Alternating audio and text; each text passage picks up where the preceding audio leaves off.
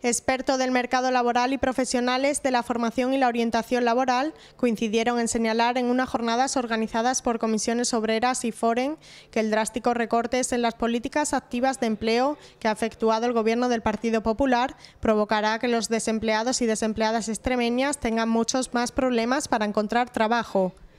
Además, la reducción en 80 millones de euros de los fondos destinados a las políticas activas de empleo condenan a la desaparición a varios programas de formación y orientación y llevan directamente al paro a más de 2.000 personas ocupadas en estas tareas.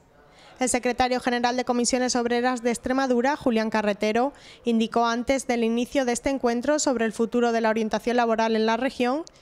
que hay una incertidumbre enorme y que el recorte de las políticas activas de empleo es otro ataque al modelo social, tal y como lo son los que están llevando a cabo en educación y sanidad.